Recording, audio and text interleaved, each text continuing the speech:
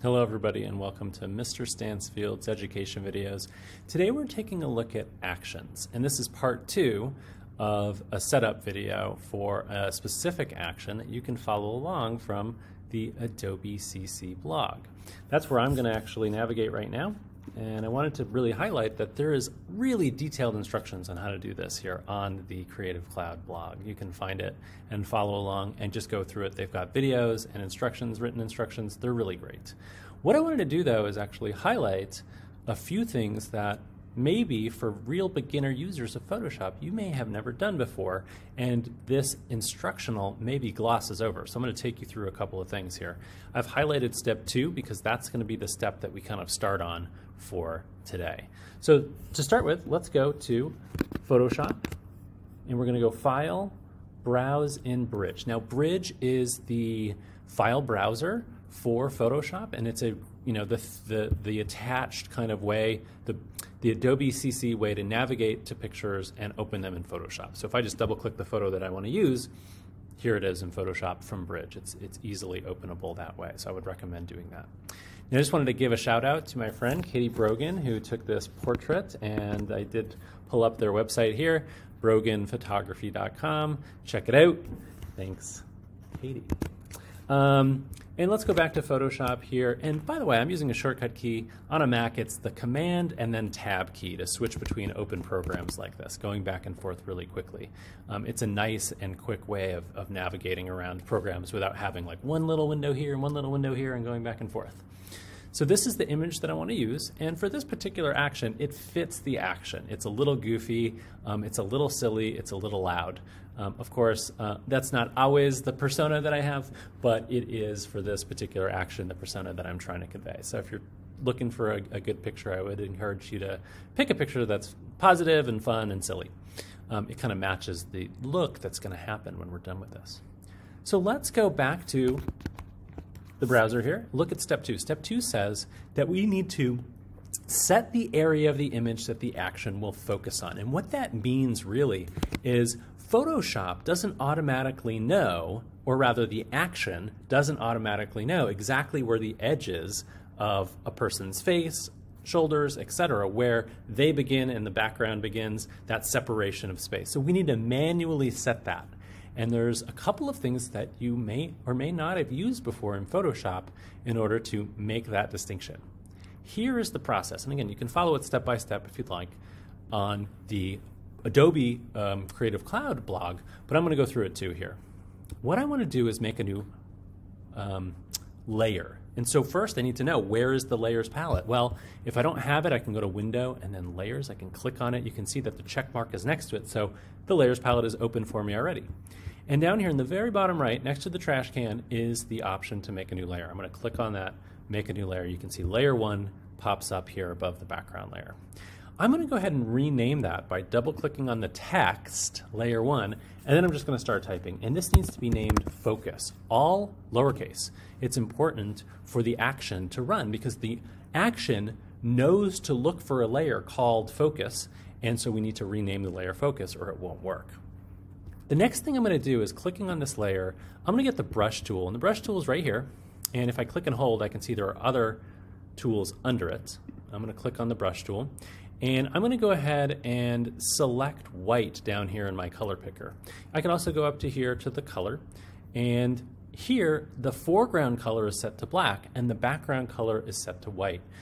Now there's a cool shortcut key on a Mac or on a PC uh, uh, as well in Photoshop, if I hit the X key, it'll flip the foreground and the background colors. All right. I want to paint with white, with the paintbrush, and I want that to cover all of me. Well, that paintbrush is really small. So what do we do? We make it bigger. Here is one of several ways that you could do that. You go up here and change the size, make it bigger. And you can see the circle gets bigger. So this works a little bit better. Now, it's a soft edge. You can see the edge of the brush is a little bit soft. Well, that's up here under hardness. The hardness is set to zero.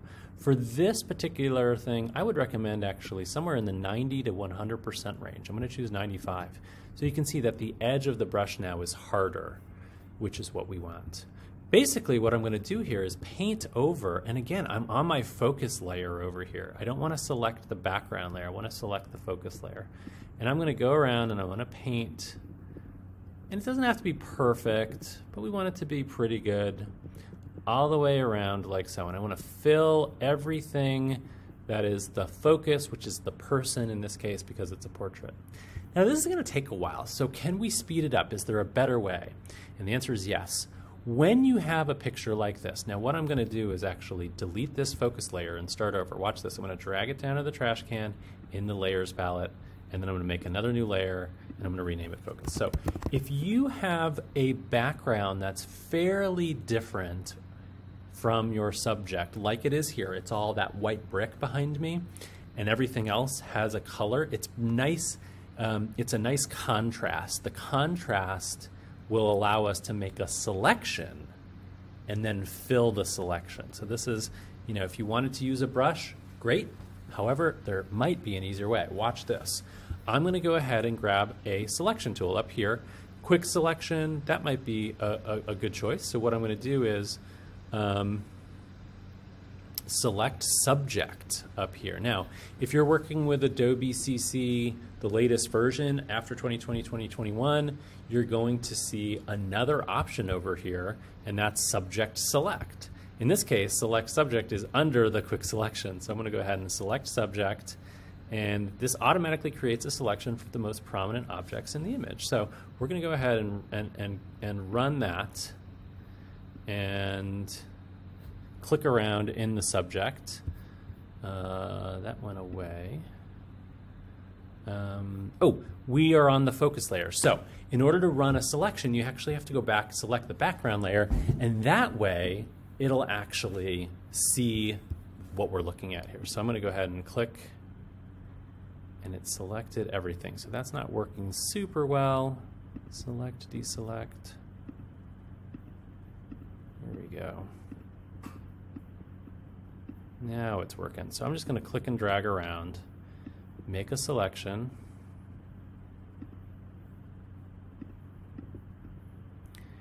And I'm going to look carefully. I want to get my ear in there. The hair is pretty good. It's doing a pretty good job here of making the selection and keeping that contrast in there. So with the subject select and or the quick selection, that's what I'm doing to get the selection. Once I have a selection that I'm happy with, I'm going to go to select, modify, and I'm going to feather it just a little bit, just a few pixels. I'm going to choose three pixels. And what that's going to do, it's going to soften the edge a little bit and it'll make this next step go a little bit better.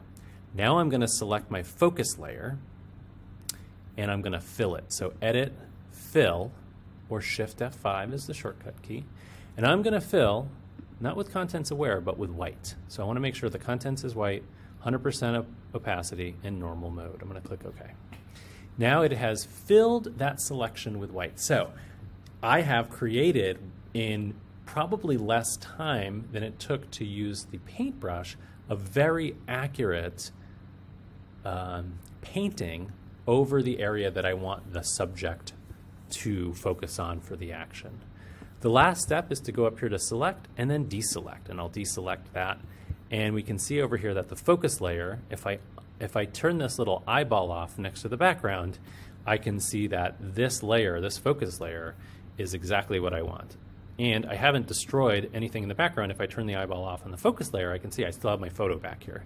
So I click both on, and now I'm ready to run the action. So that's what I'm gonna do. If I go over here to my actions, I click on Toon Artist and I hit play, it's going to take a while. So this is going to take a few minutes to run. It's a fairly complicated and involved action.